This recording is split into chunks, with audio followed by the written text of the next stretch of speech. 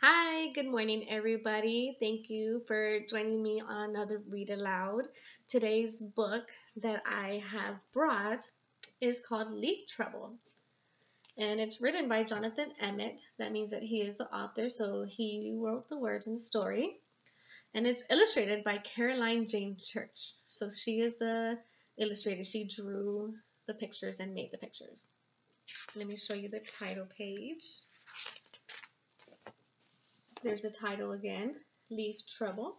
And there's the author's name, and there's the illustrator's name.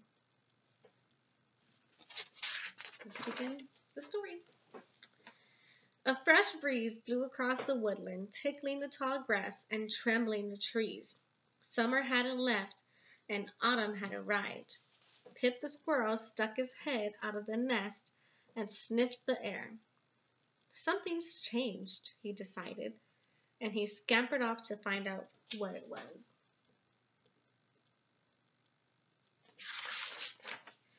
Pip's nest was in an old oak tree. Pip loved the old tree, and he knew every bit of it, from twig to trunk. But something was happening to the tree. It was happening so slowly that Pip hadn't noticed it until now. He skittered to a stop and stared at the leaves beside him.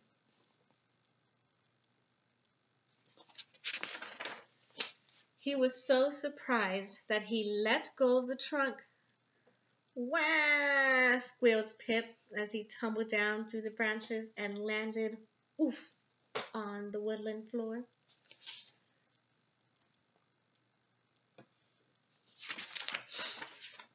Pip lay there for a moment, staring up at the leaves. They've changed color, he gasped, and he was right. The last time Pip the last time Pip had looked closely at the leaves, they had all been green. But now they were lots of colors yellow and orange and even red.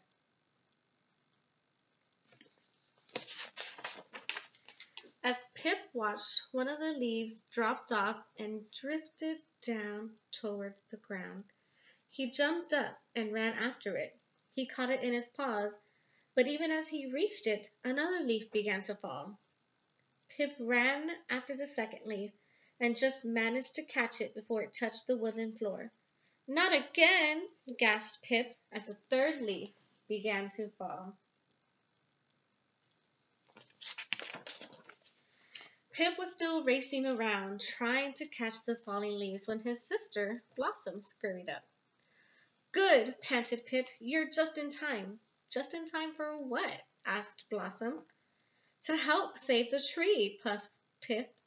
It's falling to pieces.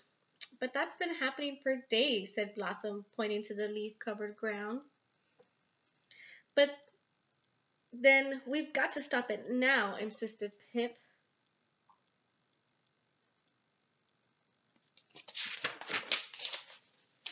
Pip and Blossom collected all the fallen leaves into a big pile. Now what? asked Blossom. We put them back, said Pip.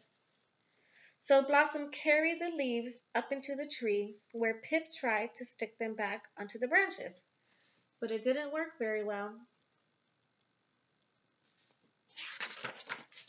Then all of a sudden there was a huge gust of wind and hundreds of leaves began to fall.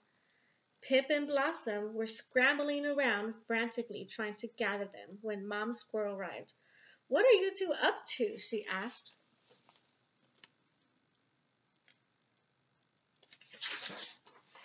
When Mom found out what Pip and Blossom had been doing, she couldn't help smiling.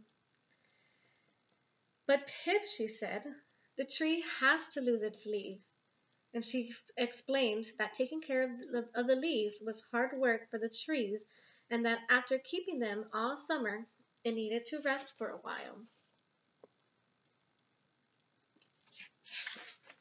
But I love this tree, said Pip sadly. It's our home, and I want it back the way it was. It will be, said Mom. When spring comes, the leaves will all come back again. They've only gone away for a while. Like when the sun sets and then comes back again? asked Pip. Like when the sun sets, agreed Mom. except the leaves will take just a little bit longer to come back.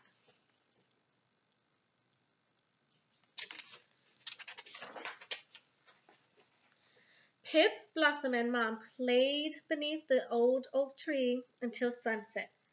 Before they left, they collected some leaves to take back to their nest.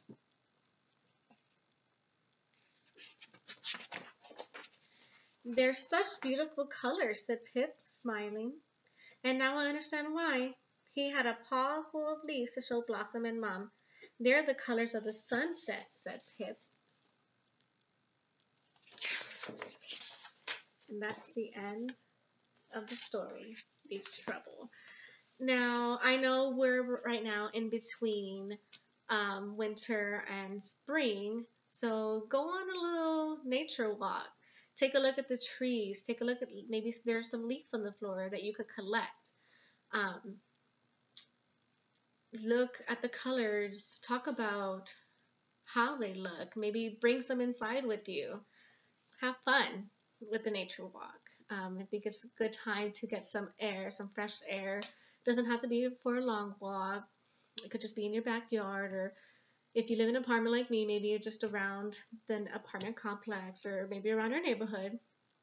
Just take a take a moment to get some fresh air and look at the trees and nature and enjoy it. Bye.